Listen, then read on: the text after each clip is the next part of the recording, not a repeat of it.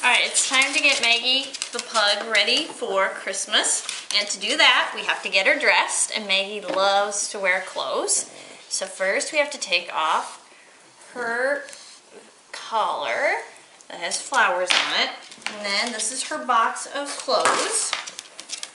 And she's got Husker jerseys.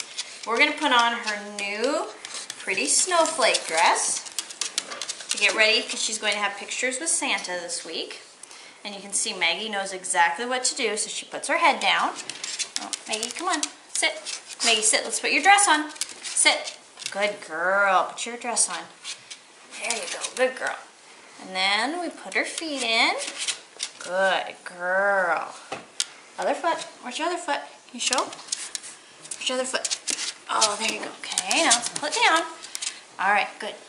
And then Maggie likes to be really pretty, so she puts on her holiday beads.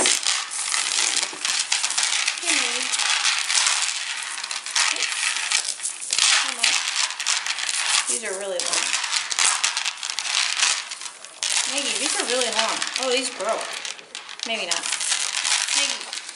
Alright, we're going to skip these because these broke. So instead, Maggie is going to put on her little elf collar. Maggie, come here.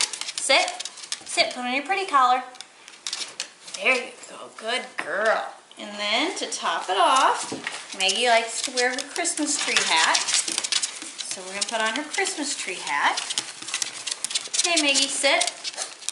Maggie, sit. Good girl. Okay, let's put on your hat.